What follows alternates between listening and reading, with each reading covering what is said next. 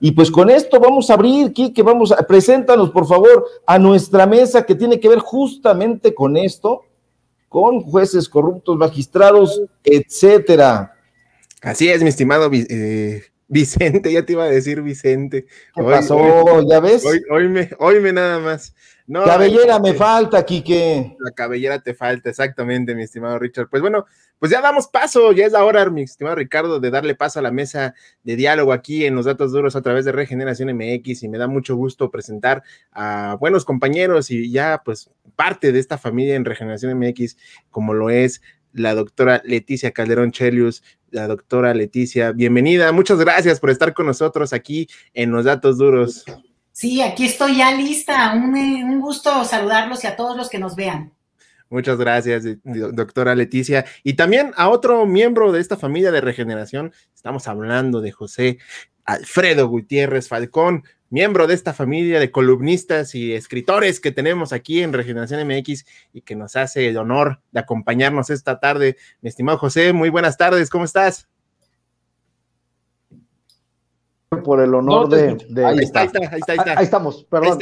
Este, Sí, eh, pues con el gusto de saludarlos, un honor como siempre y pues bueno, con, con muchas ganas de, de, aportar aquí algo, ¿no? Así es, pues, pues bueno, hay que empezarle con todo, mi estimado Ricardo Sevilla, esta mesa de diálogo que como todas las tardes aquí en los datos duros nos engalanan nuestros amables invitados aquí en el programa, Richard. Gracias, gracias, Quique Legorreta, por tus palabras introductorias y tienes razón en todo lo que dices y más porque estas voces críticas, analíticas, no están allá en la prensa corporativa. Me da muchísimo gusto, como dijo Quique Legorreta, Leticia y José Alfredo, nombre de cantante José Alfredo, yo no sé por qué te pones ahí GA, pero José Alfredo está muy bien, está padrísimo. Pues bueno, Leticia, interrumpo tu cafecito. Qué, bien que se ve ahí, que lo estás degustando en esta tarde de miércoles. Fíjense ustedes que justo como nos estaba platicando el abogado Paulo Díez, ya tuvieron ustedes eh, oportunidad de escuchar parte de lo que se conversó y de la exposición que tuvo. Una de las peores consecuencias de la corrupción en México, corrupción, consiste precisamente en los altos niveles de impunidad que existen pues en diferentes eh, pues en lugares donde se supondría que no debería de existir. Estoy hablando del el poder judicial y pues bueno, esto se ata, si ustedes me permiten eh, decirlo así, con lo que está expresando desde hace tiempo el presidente, que tiene que ver con la corrupción, con el nepotismo, con estar trabajando para diferentes voces,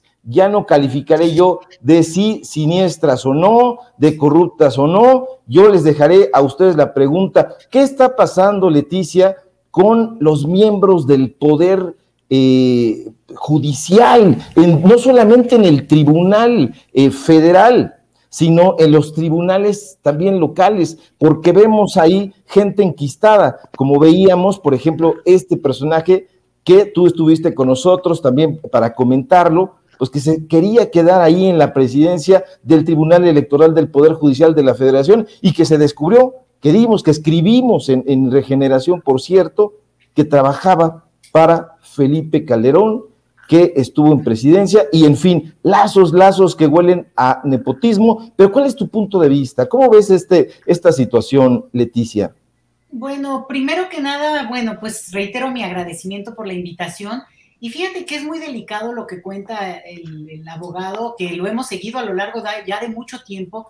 Realmente es una batalla que él ha dado muy valiente, porque al final de cuentas, pues digo, él conoce el proceso y sabe también a quiénes está enfrentando, pero eso no debería de ser así, no tendría por qué ser la batalla de una persona valiente, sino justo a partir de las, de las evidencias que él ha ido mostrando, la propia autoridad, si fuera el caso, bueno, ¿no? Tomar eh, este caso para sí. Entonces, yo creo que ese es un nivel. Otro nivel que fíjate que yo, a mí me parece que brinca, en este, sobre todo en, este, en el ejemplo que hoy nos ponía el abogado, tiene que ver con el Estado de México, porque ahora sí que todos los caminos llevan al Estado de México y ahí eh, justo, no, nos quedamos en la parte de Peña Nieto, pero todo, todo el entramado de lo que ha ocurrido en ese estado a lo largo de muchísimas décadas, Digo, yo pensaba incluso en el profesor Hank González, ¿no?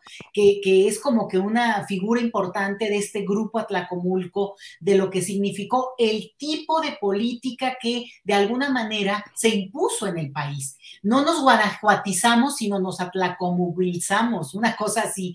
Es decir, que al final de cuentas el PRI acabó siendo eso y en parte la, la, disputa que hoy se está dando es para terminar con esas formas, no solo cortesanas, sino donde los ciudadanos hemos sido súbditos de un sistema leguleyo, de un sistema que ha sido utilizado supuestamente en términos letristas, ¿no? Lo que la ley dice, y bueno, como la ley lo dijo, entonces la ley está por encima. Y eso es correcto si fuera real. El problema que aquí tenemos es el uso de la ley para tergiversarlo y al final de cuentas dar paso y permiso a este tipo de concesiones, por ejemplo, que es impresionante. O sea, digo, conociendo y para la gente de la Ciudad de México, pues esto es una relación totalmente de, cotidiana, la relación con el Estado de México. Este abuso que se ha dado en términos de las obras hechas, mal hechas o no hechas, que han estado ahí justamente como los negocios que al final le han dado, sin irme yo más lejos, Arturo Montiel, ¿no? Es de esos casos que están todavía sin abrirse como parte de, se ve de repente lejano, pero no lo es. Acuérdense que hace un par de años Peña Nieto en el poder, su entonces ex esposa reciente, digamos, le estaba peleando la custodia y el virtual secuestro de sus hijos. ¿Sí? Y se hablaba de que el señor tenía castillos en Europa. Otra vez, leyenda, leyenda urbana, quién lo dijo, quién no lo dijo, pero es este, esta cosa con la que hemos vivido los mexicanos por muchas décadas, insisto, no es una cosa que creo que a nadie nos sorprende, ¿no? Ese es el punto. Cuando dicen o de, se descubre algo, no es como que alguien diga, ay, pero esto es imposible, no. Lo que pasa es que dice, no, pues si yo lo oí desde chiquita, tú, ¿no? Entonces, me parece que es tocar una fibra muy sensible y muy lastimosa en el sentido de que al final la desconfianza en la autoridad máxima que tiene que ser quien ejerce la ley nos lleva a los casos tremendos en los cuales, pues evidentemente no confiamos, pero además presumimos que hay incluso, digamos, la complicidad de esa autoridad legal siempre con el infractor cuando es poderoso. Y yo creo que ahí estamos tocando el subtexto de lo que en hechos es el caso que hoy presentó el, abogado. Gracias, gracias Leticia. José Alfredo, el Poder Judicial no se supondría que tendría que constreñirse a ser la institución encargada de dar, de dar, de dar solución a los diversos conflictos que se presentan pues con motivo de todas las normas en todos los ámbitos, en los ámbitos eh, políticos, como es el, Tribunal del Poder eh, Judicial de la Federación, en, los tribunales familiares que como está comentando la, doctora, la doctora Leticia Calderón, pues bueno, nos topamos con que personajes influyentes, como es el caso que ejemplifica de, de, Enrique Peña Nieto, si hay alguna eh, querella, se pronuncian a favor de sus amigos, a favor de sus empleadores, a favor de un grupo determinado. ¿Por qué está ocurriendo esto, José Alfredo? Tú eres abogado, ilumínanos, por favor. Bueno, pues mira, eh, como abogado padecí muchísimo esto, eh, muchas veces eh, en asuntos administrativos, en asuntos de materia minera, lo, vamos, es una es una mafia, eh, hay que decirlo abiertamente, y tan es mafia que, se atreven a, ponerse eh, a, las patadas con, la figura presidencial.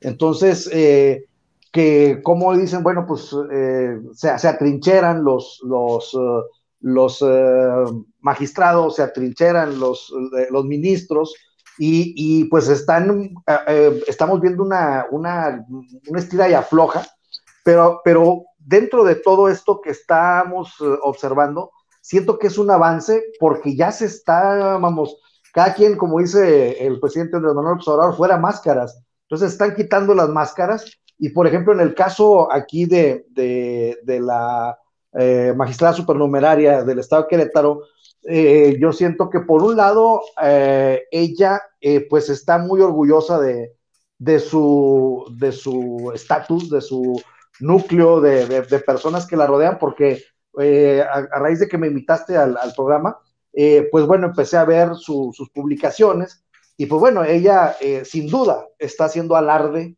de que pertenece a un grupo, este, vamos, altamente conservador, ¿no? Entonces, eh, estamos viendo cómo eh, ya se está, nos haz de cuenta que esto no lo, no, quizá no lo hubiéramos tomado en cuenta si eh, no se estuviera desquebrajando a, pedazos el, prestigio del, Poder Judicial, ¿no? Entonces, yo creo que después de esto tiene que venir una, una reforma, la que está planteando el, el Ejecutivo, pero que se, que se está resistiendo, ¿no? La mayoría de los, de los ministros y que, pues, pues bueno, el presidente de, de, la Suprema Corte de Justicia dice, órale, yo le entro, pero los demás, pues no lo quieren porque precisamente él quiere limpiar, ¿no? Entonces estamos viendo esa, esa, esa pugna, esa, esa, ese choque de lo que antes era normal y ahora pues no es normal y lo estamos estigmatizando, lo estamos mencionando, lo estamos dando a conocer como tú lo, como tú lo estás haciendo en esta, en este, pues en este reportaje que nos, que nos brindas, ¿no? Entonces yo siento que dentro de todo el, el eh, dentro de todo lo malo, como, como decía mi antecesor, pues hay cosas buenas. ¿Por qué? Porque ahora sí se están descubriendo, sí se están eh, ventilando, y antes pues era, ni siquiera se ventilaban, sino que además decía, como dice Andrés Manuel López Obrador, ni siquiera perdían su respetabilidad. Antes era, ay, pues, pues sí, cómo no, es, es la hijita y la sobrina, y, es, y ahora vemos que, que, se está discutiendo todo esto gracias a trabajos como el tuyo, Ricardo. Gracias, gracias, José Alfredo. Leticia, fíjate que este trabajo, el que está ahorita glosando eh, o comentando José Alfredo, pues lo publicamos hoy, yo eh, se los envié a ustedes para que eh, si me hacían la deferencia de leerlo y compartirlo y darlo a conocer, lo hice con una intención. ¿Cuál fue esa intención? Fue pues darme cuenta, dije, voy a buscar a ver si es cierto que existe tanto nepotismo como acusa el presidente, a ver si es cierto, porque se especula mucho, hay rumores, hay eh, comentarios de corredor, especulaciones, pero me pasó infelizmente, como me ocurrió también cuando entré al Tribunal Electoral del Poder Judicial de la Federación y me, di a la tarea de revisar quiénes eran los encargados de eh, las salas, quiénes eran, eh, cuáles eran sus biografías, en qué habían trabajado, qué habían hecho, etcétera, etcétera.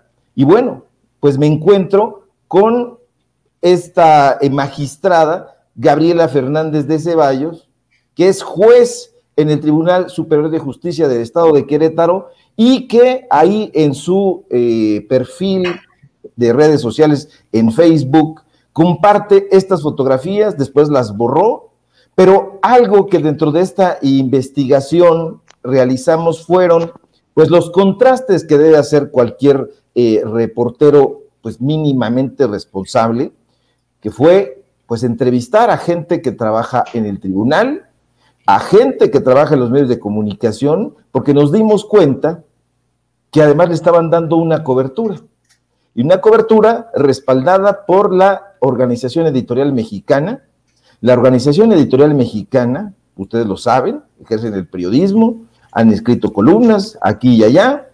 Pues bueno, reúne aproximadamente 70, 70 periódicos en todo México.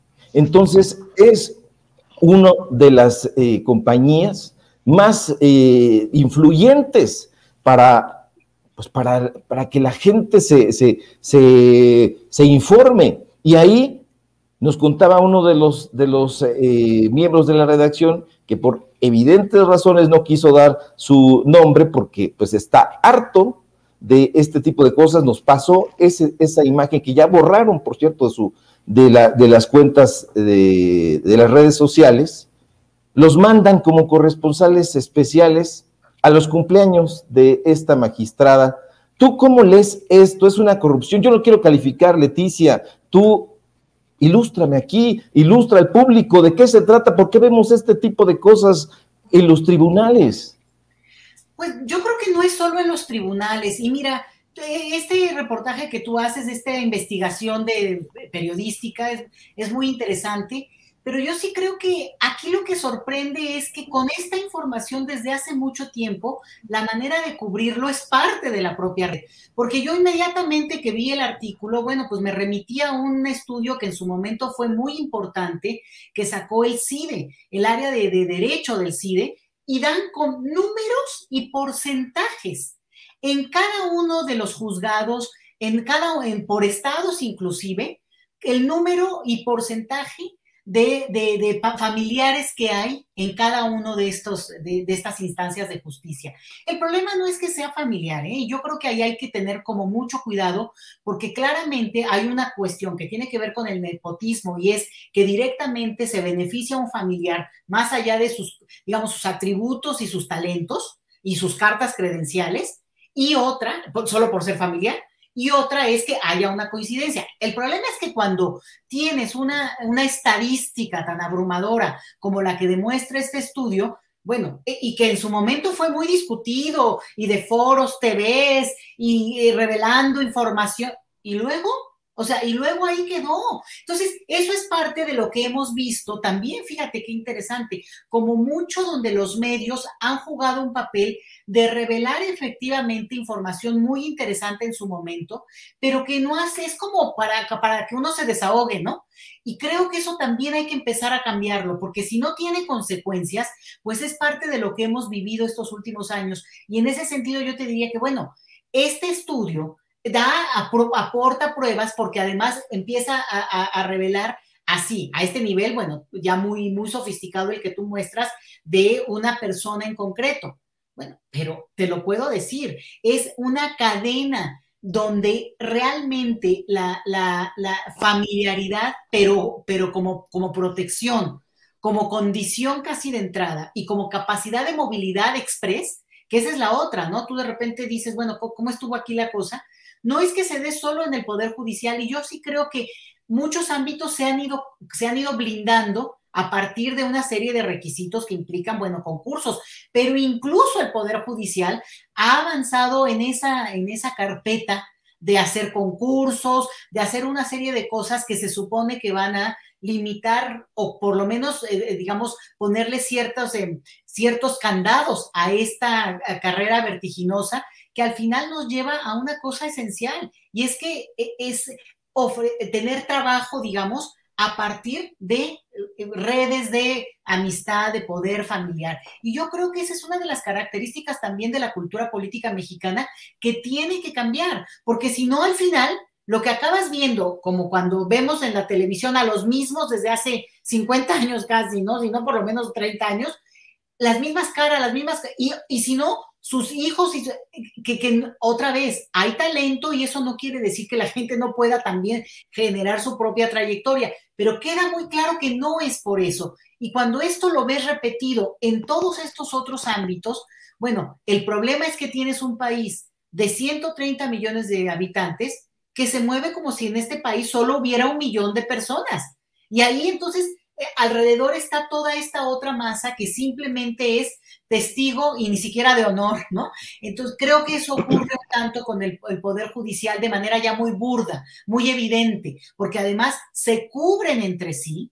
Hay una suerte en la cual, pues, para no hacerle ruido al que al final te, puso ahí o te apoyó para estar ahí, pues no hay realmente un apego a la ley. Y como yo decía, sí, la ley muy letrista, muy hasta que llega un punto en que, bueno, mientras, mientras no toque eh, eh, eh, pies de los poderosos. Eso me parece con el Poder Judicial. Gracias, Leticia, gracias.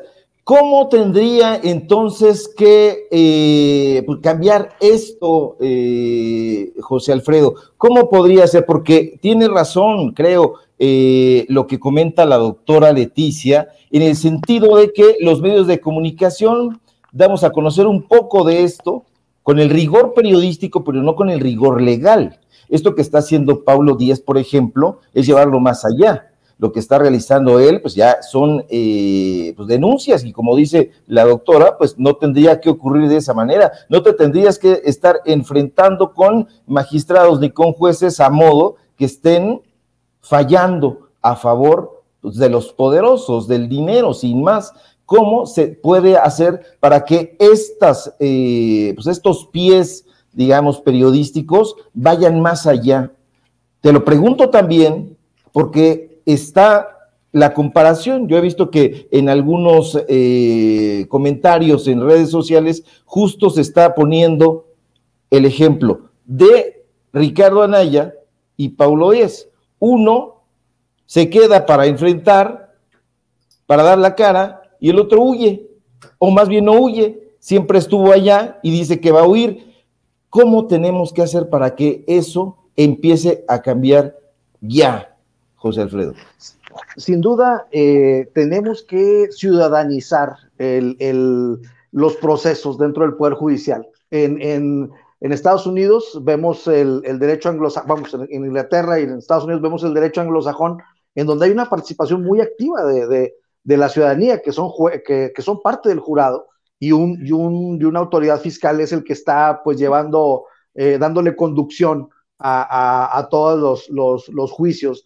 Pero, pero en este caso, eh, llega un juez que quién sabe quién lo recomendó, que quién sabe qué interés eh, este, pues atienda, y, de esta forma, pues estás, estás propenso a, algún criterio. Por ejemplo, mira, siendo muy, siendo en sentido estricto, yo observo una carrera, una vocación muy definida de, la sobrina de, Gabriela Fernández de Ceballos en el tema familiar.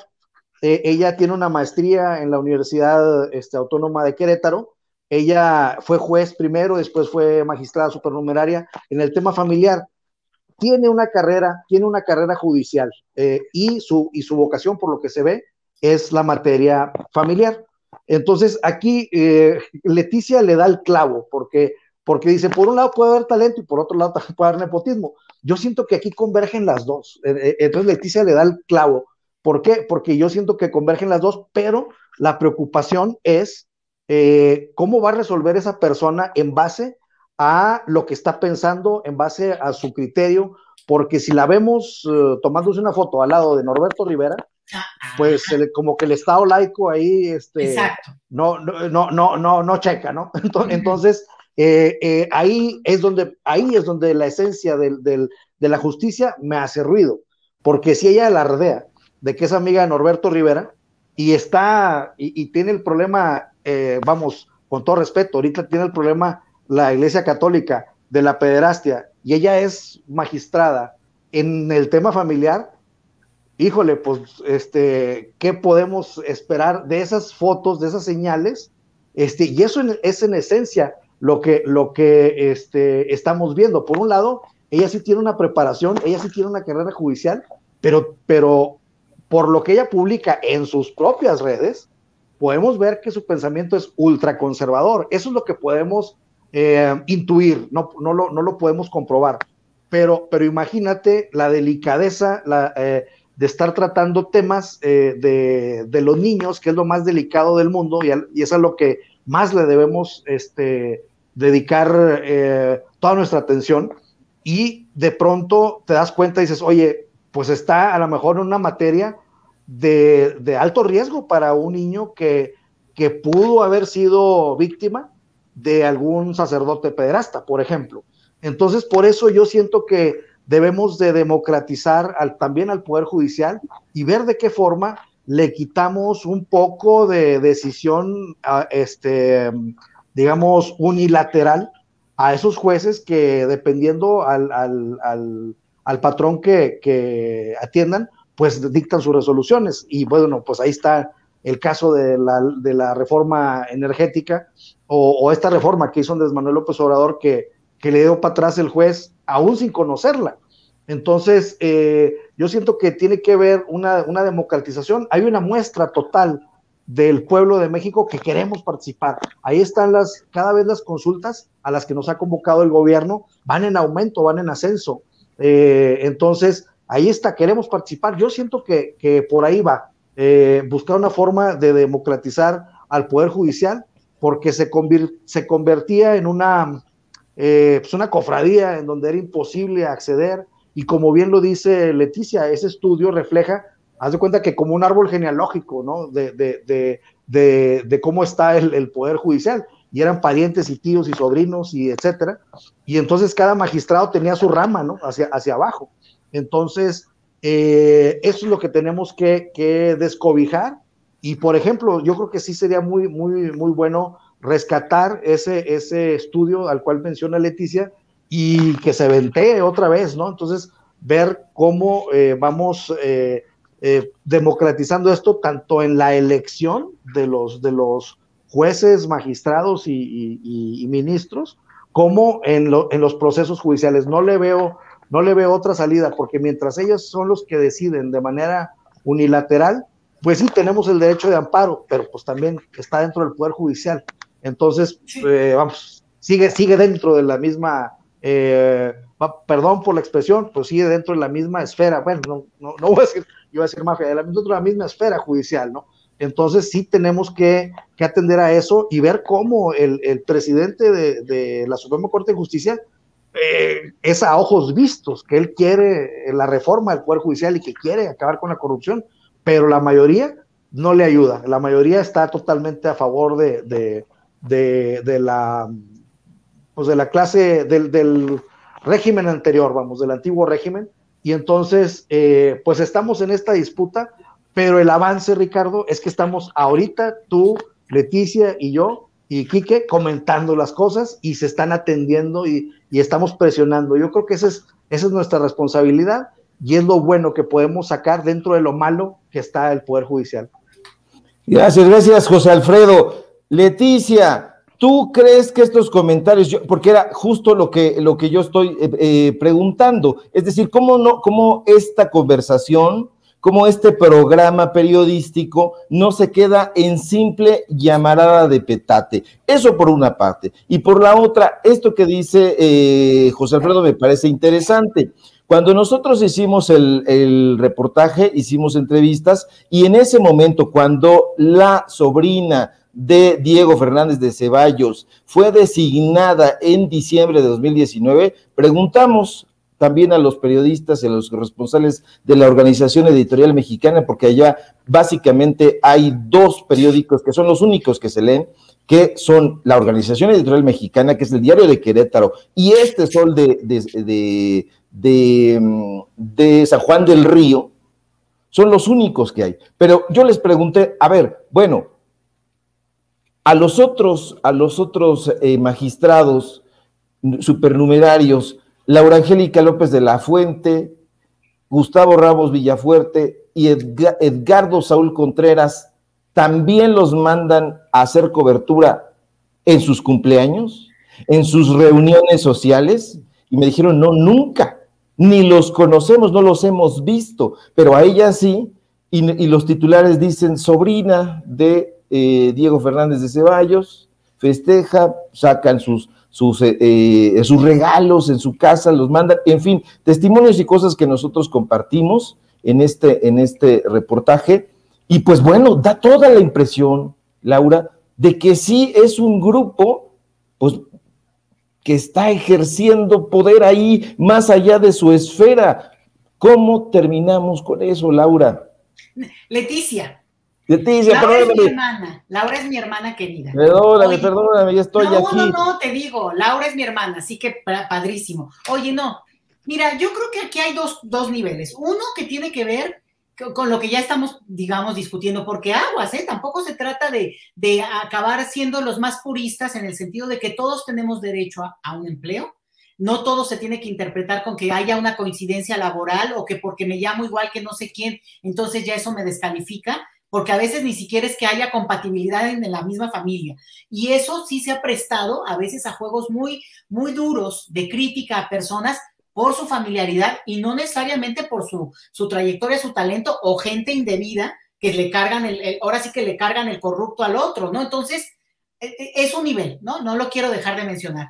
Pero otro, y aquí tú vas a, este caso, digo, a la sangre, al, al, al, digamos, a donde está quemando, ¿no?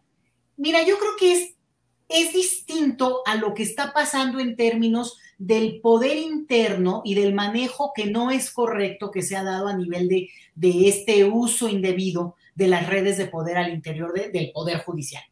Esto de esta, de esta licenciada familiar de, de un personaje tan poderoso en este país, con tanta alaraca, tanta presencia, que además eso es impresionante también, ¿no? Una persona que tendría que estar en la lógica de la corrupción de la que hablábamos al inicio, totalmente descalificada siquiera para opinar. O sea, se ha revelado tal cantidad de cosas de, Diego Fernández de Ceballos. Sabemos lo, lo, marrullero que ha sido, lo, lo incluso lo, lo malo para pagar hasta las deudas cotidianas de lo que la gente tiene que hacer día a día y se anda tronando los dedos, digo, para llevarlo a ese extremo y lo que ha sido en términos de la complicidad con el poder y sigue teniendo derecho de piso, derecho de, de, tocar las puertas y que se le abran al instante, de hablar en los medios de comunicación masiva, porque él tiene ahorita 10 minutos y si no me le tomas ahorita, o sea, ¿me entiendes? O sea, eso es impresionante, por un lado. Pero entonces, el hecho de que esta licenciada abuse, justamente ahí está el punto, de, su, de ese familiar poderoso y que lo quiera utilizar mandando un mensaje, porque no te digo, no se trata de ocultar al familiar, digo, si fuera su papá, con más razón dirías, bueno, pues ella se, sentirá orgullosa de él, es cosa de, es cosa de ella. Pero justamente una representante de la justicia tiene que mantener una imagen de neutralidad, porque me, me gustó mucho el comentario que ahorita se hacía, porque ahí hay símbolos, si tú estás junto a una persona de, la, religión, en este caso católica, que tiene además toda otra historia y todo un, un se ha dicho, no se ha dicho y no se ha comprobado, pero ahí está otra vez leyenda urbana, pero se ha dicho cosas tremendas de, de esa parte de la iglesia, bueno, la licenciada se pone en evidencia en términos de que no se sabe a qué poder responde. Si en un momento de, una denuncia de pederastía de parte de eh, personas de la iglesia, ella es capaz de recibir o no una llamada directa de la máxima autoridad religiosa de este país y entonces sucumbir por amistad, por complicidad, por porque se deben, porque se, tienen afecto. Eso es lo delicado.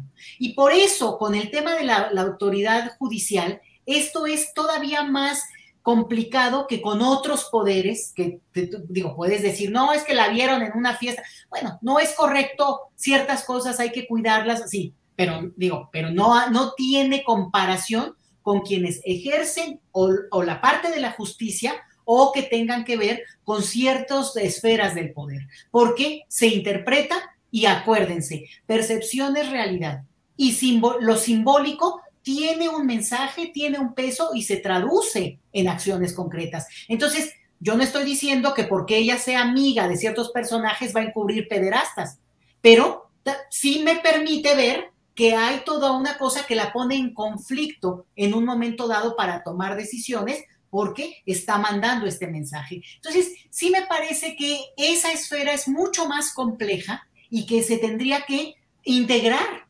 justamente en una reforma judicial donde no nada más cuenta lo, legal, ¿no? Ya sabes, capítulo tal, versículo tal, le cambien, que haga o no haga, no. También el cuidado de la imagen pública y no en un sentido moralina, no, no, moralista, no, no, no, en un sentido de los mensajes que este tipo de autoridad que tendría que estar por encima y la respetabilidad que debería de tener, no la tiene y acabamos, ¿no? Con estas fotos que son realmente pues delatoras, o sea, delatoras, perdóname, pero si además luego vas y les preguntas si los demás tienen este tipo de, digamos, de proyección, la siguiente cosa es, ¿qué puesto le sigue a esta persona como para rastrear y darte cuenta, pues que se estaba trazando el camino para que después sea públicamente conocida y entonces gane el voto popular de algo, ¿no? Entonces, sí me parece muy delicado, sobre todo ya personalizándolo en casos muy concretos a partir de lo que he dicho.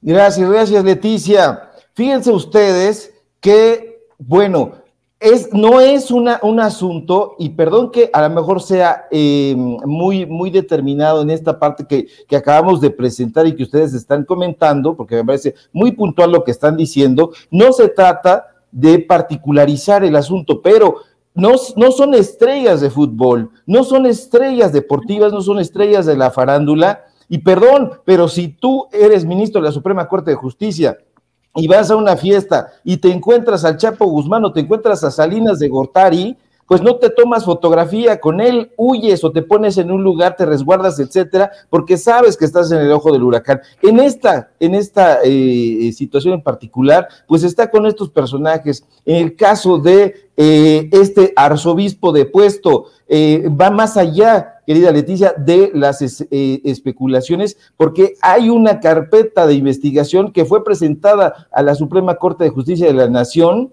y que incluso tenía que ver con eh, un proyecto para ver si se abría o no se abría en la Suprema Corte de Justicia, porque el ministro de, la, en ese momento, hace eh, un año, un año, Alfredo Gutiérrez Ortiz Mena, buscó otorgar un amparo para que se pudiera conocer la investigación y no se ha conocido. Entonces, cuando tú ves a jueces cuando tú ves a magistrados, cuando tú sabes que el personaje que está a un lado de ti no es un, no es Batman, no es Robin, es un tipo que tiene una carpeta de investigación que fue presentada a la Suprema Corte de Justicia a la que tu tribunal obedece, pues entonces ya piensas. Y después esto, esto, o sea, no es solamente el tío, porque se ve que corrió de mesa en mesa, por lo menos, para ir a, a tomarse fotografías con sus héroes o, sus, o, las estrellas como, como, como quizá los vio. No lo sé, yo estoy de acuerdo contigo, Leticia, de acuerdo también contigo, José Alfredo, en el sentido de que no podemos criminalizar a alguien por su... Eh, por, por, sus vínculos familiares, por sus lazos este, sanguíneos, no en absoluto. Pero en este caso, si ves a, Felipe Calderón, si lo veo yo, yo huyo. Y no, aquí con el gran presidente Felipe Calderón tomándome una fotografía, es inaudito me parece, sobre todo por la función, la función que esta, esta simbología que estás dándole al, al resto de la, eh, pues a la gente, eh, que se, se, piensa lamentablemente que las redes sociales solamente tienen un, un alcance entre los amigos, no es así, es un gran descuido.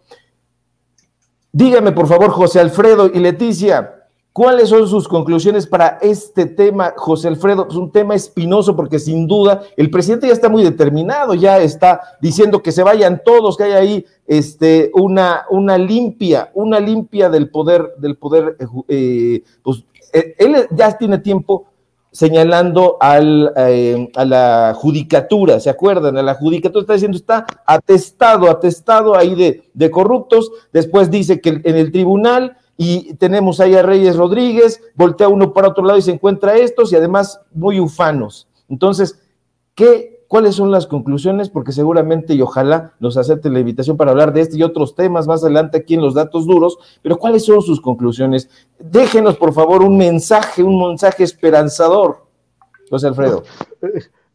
bueno, eh, este, con el permiso de Leticia, eh, este sí, mira, eh, yo siento que eh, una reforma al Poder Judicial es, vamos, más que necesaria, más que evidente. El, tema es cómo, cómo lo hacemos. Y, entonces yo siento que podemos entrar en una, en una especie de dinámica, este, incluso, te digo, democratizar. Es la única forma en la que yo veo que pudiera avanzar esto, porque tenemos que romper un, um, un cascarón muy duro que es el, que es el, el, Poder Judicial, tenemos que ventilarlo.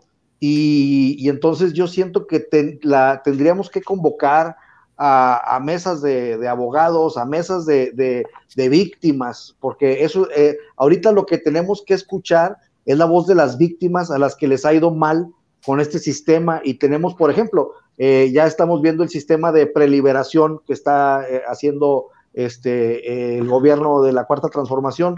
También hay más de seis mil indígenas que están dentro de las cárceles por el simple hecho de que no tuvieron un traductor en el, en el, en el, en el juicio y están en la cárcel. Entonces, yo creo que tendremos que primero escuchar a las víctimas para después ver qué hacemos con el Poder Judicial porque, porque nosotros podemos especular, nos podemos imaginar qué, qué, qué es lo que está pasando, pero imaginemos cuando, cuando Andrés Manuel López Obrador dice, no, pues yo sabía que había corrupción, pero no a ese grado. Entonces, eh, imagínate tú lo que está pasando eh, después de que Andrés Manuel López Obrador había escrito libros sobre, sobre la corrupción en México, pues, y, que llega y dice, ay, pues, pues no pensé que estaba tan grave. Imagínate cómo está el Poder Judicial, que es una cripta en donde, en donde es eh, este, muy difícil entrar a, a, ver sus, sus, este, pues sus entrañas, ¿no? Entonces yo siento que por ahí tenemos que empezar a escuchar a las víctimas, tenemos que empezar a exigirle cuentas a la Suprema Corte porque a fin de cuentas será muy autónomo, pero son recursos de los mexicanos con los que están eh, eh, pues accionando, con, lo que está funcionando este, este Poder Judicial. Entonces yo siento que ya eh, tenemos que quitarle también a los, a los ministros esa idea de que son inmaculados y que están muy arriba y que nadie, nadie los puede interpelar, porque ya llega un momento en que nos estamos dando cuenta que están, que están atentando muchas de sus resoluciones contra nuestros derechos y, que estamos sumamente afectados porque, porque durante mucho tiempo no, el, el, poder ejecutivo, como todos sabíamos, era el poder de los poderes y hacían lo que el ejecutivo les decía. Entonces, es el momento de decirle, está bien, son un poder autónomo, pero asuman su responsabilidad como poder autónomo.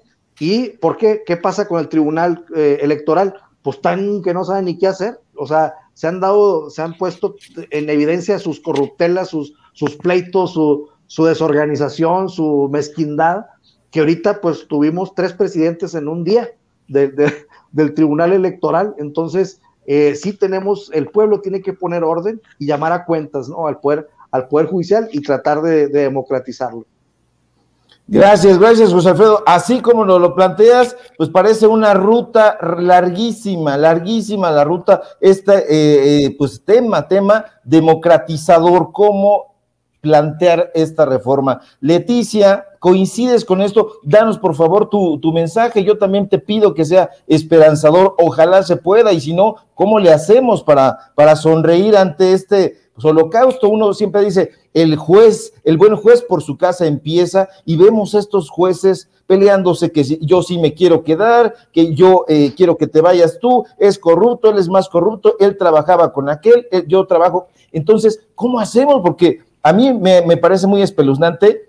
Yo sí confiaba, debo, confesarlo, en la figura de, los magistrados, en la figura de los jueces, lo los veía desde, un, pues, desde un punto de vista romántico, si tú quieres, pero esto se está cayendo. ¿Qué hacemos? ¿Qué hacemos? Bueno, afortunadamente estás hablando con una persona muy optimista, porque la verdad es que ¿por qué me podría quejar en la vida? Y al contrario, yo creo que la oportunidad de poder expresarme aquí es parte de esa fortuna. Y fíjate que yo sí diría que estamos, llegamos a un punto de, digamos, de tal podredumbre en un sentido compartido, colectivo, en nuestras instituciones, de muchas cosas muy consolidadas, porque también esa es la otra, eso es lo que pasa con México, que es un país muy complejo, porque al mismo tiempo que tiene muchas cosas desquebrajadas al extremo, tiene una ruta también muy consolidada de muchas cosas y por eso tenemos que tener cierta cautela. Yo te diría que realmente aquí estamos viendo todo un esquema, toda una forma de haber sido que se está, se está desbaratando. Por ejemplo, los cargos como una forma de movilidad social, de ascenso social, como premio. O sea, cualquiera de nosotros sabe que alguien que accedía a un cargo de alto nivel era como si se hubiera sacado la lotería. O sea, era como, no, bueno, de un día al otro como rico inmediato, ¿no? O sea, estoy hablando de algo que es socialmente compartido. Y a mí me parece que esto es una de las cosas que al empezar a cambiar y al empezar a, tener como que otra imagen, eh, eh, el que es el servidor público, bueno, pues porque quiere ser servidor público, porque si no, usted se puede dedicar a otra cosa, pero si lo, pretende, bueno, no es ni para enriquecerse, para tener un, ingreso y una, una trayectoria laboral digna, bueno, por supuesto, como cualquiera, pero no que eso justamente sea la búsqueda, como también pasa con los cargos de representación popular, ¿eh? es toda esta cosa donde se marca una distancia con la ciudadanía en general. Entonces yo creo que el cambio eh, eh, a, veces suena muy así medio, no sé, ¿no? Como un mensaje más de, de buena onda o de, digamos, más moralista de parte del presidente cuando se echa sus rollos de que, bueno, vamos a cambiar esto y vamos a cambiar la, la cultura. No es por cualquier cosa, ¿eh? cambiar la cultura, la los, los elementos de la cultura política de un país es de lo más complicado porque implica cambiar de fondo y cambiar, digamos, la correlación a partir de la cual se ven cosas. Hace rato comentaba José Alfredo, por ejemplo, un tema que es que en nuestra sociedad se ha celebrado la corrupción. O sea, no es que se aplauda mientras no te, no te afecte directamente, ¿verdad?